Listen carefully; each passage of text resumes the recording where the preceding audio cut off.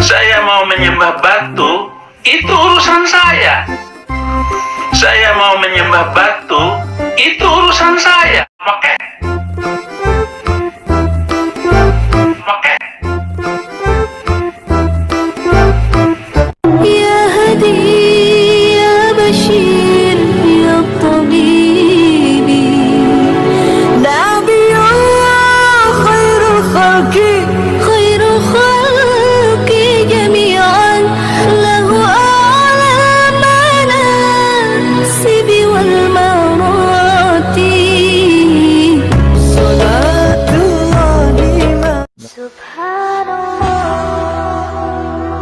Bismillahirrahmanirrahim Assalamualaikum warahmatullahi wabarakatuh. Kamu masih mendengar dirahmati Allah. Semoga Allah senantiasa curahkan segala rahmat Segala nikmat yang berkepanjangan dan tiada hujung dari dunia hingga akhirat. Lah insyaAllah Dan Allah pun kumpulkan kita Para kaum muslimin di bawah naungan aras Allah Beserta para nabi Beserta para orang-orang yang Allah kasihi Allah sayangi, Allah cintai insyaAllah. Di bawah naungan aras Allah kelak Di mana tiada naungan selain daripada naungannya insyaAllah. Amin amin Allahumma amin. Kaum muslimin pada kesempatan sore hari ini saya akan membuat sebuah video di mana video ini mengesahkan bagaimana tentang pendeta sinting. Nah, siapa lagi kalau bukan si taiknya Udin. yang di mana taiknya Udin ya. Taiknya Udin ini curhat-curhat. Entah apa yang dicurhatkannya sehingga apa yang disampaikannya ah, tidak ubahnya macam orang yang sudah gila. Ya, memang gila namanya orang menyembah manusia ya sinting ya ya gila kalau Udin dikata Udin tidak terima dikata gila ya janganlah pula nyembah manusia kan begitu oke demikian kamu simin videonya Orang Kristen tidak punya agama, saya juga tidak punya agama. Tidak perlu ditafsirkan lagi kata-kata saya kepada anak saya, keluarga saya, kakak saya, adik saya.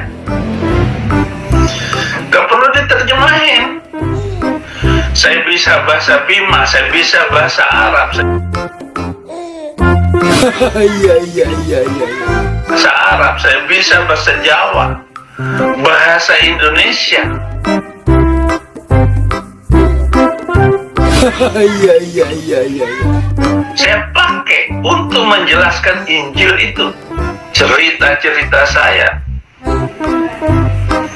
kata-kata saya jelas semuanya nggak ada tutup-tutupi kalau kamu tahu sejarah Alkitab itu semua itu buronan kalau kamu tahu sejarah Alkitab itu semua itu buronan Iya iya iya iya.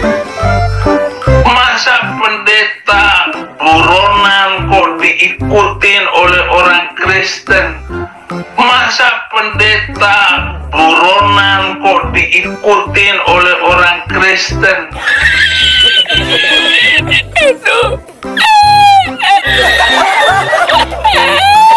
Nah, apa yang disampaikan pendeta itu benar nggak selama ini? Jadi bukan masalah saya ini buronan.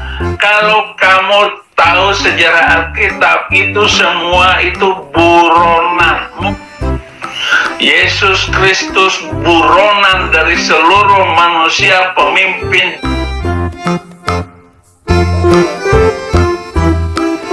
Semua buronan. Semua buronan. Iya iya iya iya. masa buronan dikotin? Masa buronan dikotin? Kamu selalu ngomong menyembah manusia lah kalau saya menyembah manusia apa urusan kamu? Merugikan kamu? Nyusahin kamu? Apa-apa. Semau saya mau nyembah apa kek? Saya mau menyembah batu itu urusan saya. Saya mau menyembah batu itu urusan saya Iya iya iya iya. kami nggak ribut kamu ngomong kalau saya mau menyembah batu itu urusan saya. Iya iya iya iya. Manusia mau menyembah apa saja terserah.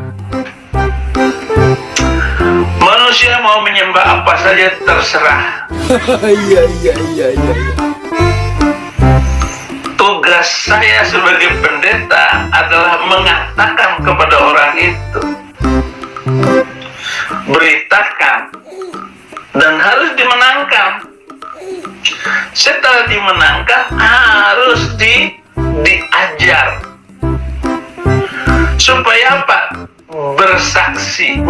menceritakan Yesus kepada orang lain, kepada keluarganya, anaknya, istrinya.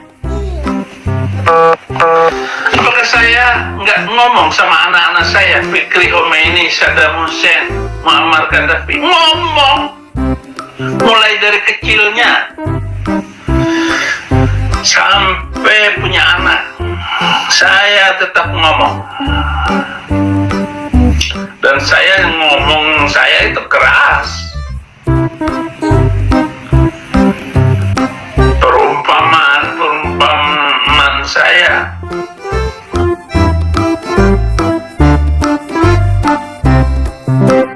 Iya iya iya iya.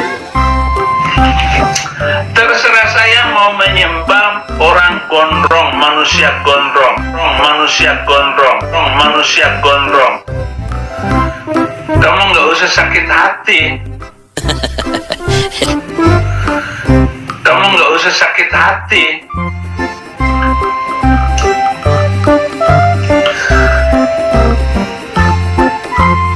Seandainya Yesus masih hidup hari ini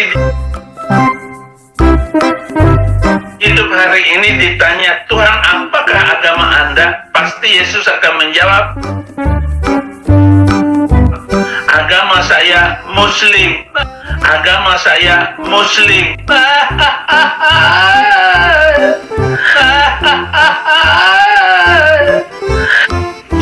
Karena Yesus berserah diri pada Allah, Yesus tidak akan mengatakan agamanya Kristen. Karena jemaat pertama tidak disebut Kristen saat Yesus sudah tidak ada yaitu Paulus, Barnabas mengajar dan menetap di Antioquia selama setahun. Muslim artinya berserah diri. Muslim bukan berarti pengikut Muhammad, tapi Muslim artinya berserah diri. Adam Muslim, Abraham Muslim, Moses Muslim, Yesus juga Muslim.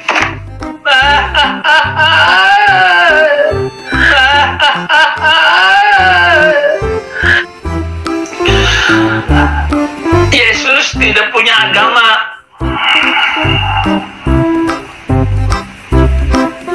Eh? Apa agamanya? Agama tidak menyelamatkan. Agama hanya bikin ribut. Kalau gereja sudah mengkristenkan, membawa-bawa Kristen untuk menjadi agama di dalam gerejanya, itu akan ribut gereja itu. Iya iya iya iya. Kristen di dalam KTP orang Kristen itu hanya supaya ngikutin disamain saja seluruh Indonesia agama sama dengan Kristen. Sebenarnya kami tidak beragama, kami tidak perlu agama, yang kami perlu donasi, donasi, donasi, donasi, biar biar banyak donasi.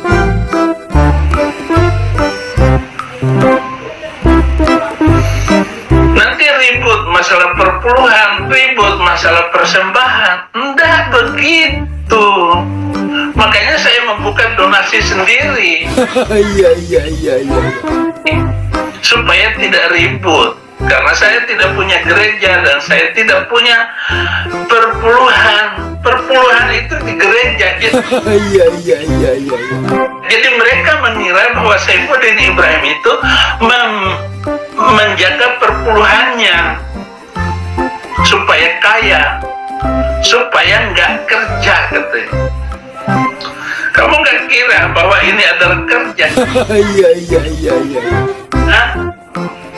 Eh, kalau saudara ketawa dalam eh, siaran saya, Jadi kaum muslimin ya, yang di mana si Udin, si tainya Udin ini bercurhat-curhat ya. Jadi perihal masalah donasi dia mengaku tidak punya gereja ya, orang pendeta abal-abal ya kan. Siapa pula yang mau jadi jemaatnya? Sementara si Udin sendiri tidak tahu isi kitab. Bagaimana mau jadi seorang uh, gembala dan orang Kristen yang mana yang mau jadi gemba, uh, domba si Udin? Orang si Udin tak tahu isi kitab. Debat hanya marah-marah ya, hanya tensi tinggi saja yang dibesar-besarkan ya, uh, mudah naik darah. Terus tentang Al-Quran hanya itu-itu saja dan dipusing-pusing pleset-plesetkan maknanya. Hanya itu yang dia bisa di Islam bodoh, di dalam kekristenan pun tolol. Ya, akhirnya apa? Akhirnya sengsara sendiri, jadi gembel di rantau orang, jadi gembel di negara orang yang pada akhirnya menyusahkan dirinya sendiri, bahkan jauh dari keluarga, bahkan anak istrinya pun nah telantar ya. Nah, inilah akibat. Jadi Allah bayar lunas ini baru azab dunia, belum azab akhirat nanti ya. Mau jadi apa sih Udin ini? Kerak neraka lah yang sudah pasti ya. Oke, demikian saja kaum muslimin yang dapat saya sampaikan. Saya Ribu Desani. Wassalamualaikum warahmatullahi wabarakatuh.